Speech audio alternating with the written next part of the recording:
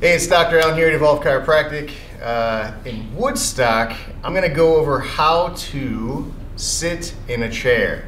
So this is for all my patients that have low back pain. Uh, you're really nursing a, a, back problem right now. It's just hard to move, essentially.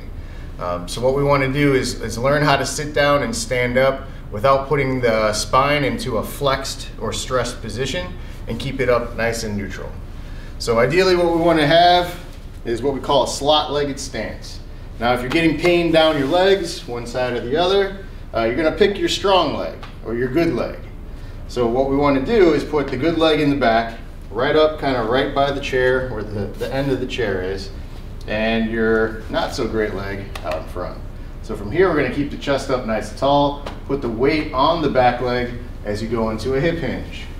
And then you find the edge of the seat. Once we're there, we're gonna scooch our butt back, and come into the position. Now, if we want to stand, we reverse that same process. So you're going to scooch to the edge of the seat first, tuck your leg back, chest stays up, push into the strong leg, and stand up from there. Now it's good to kind of practice this the first few times you're doing it, just a couple repetitions.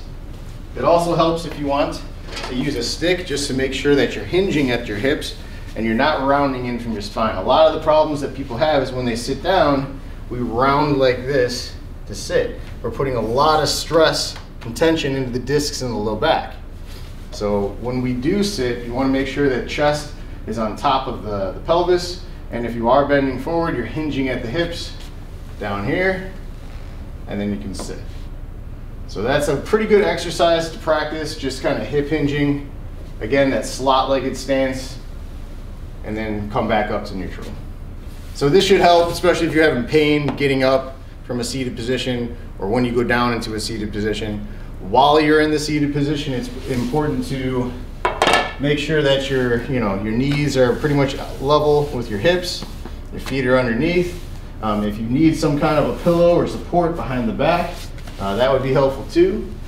Um, in this case, I'm gonna grab a little bolster here uh, this is a pretty big pillow, but nonetheless, it gives me that back support. Now you don't have to have anything actually touching your back uh, if you don't want. Um, this would be totally fine.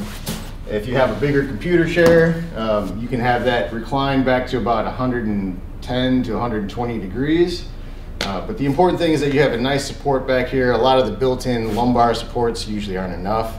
Uh, just something to keep in mind. But the most important part here is that slot-legged stance. Now say you're getting out of your car, what you're gonna wanna do is a very similar thing, but you're gonna swing your legs out of the car, scooch to the edge of the seat, put your feet down, and then stand up. If you have a huge truck, uh, you're kinda out of luck on that one, so um, be careful. Yeah, anyways, that's uh, how you can sit down, stand up, without creating a whole bunch of pain in your back. Uh, hopefully this helps and kind of keeps you going on that rehabilitative process while we're healing. If you have any questions, let me know. Uh, be safe. We'll see you next time.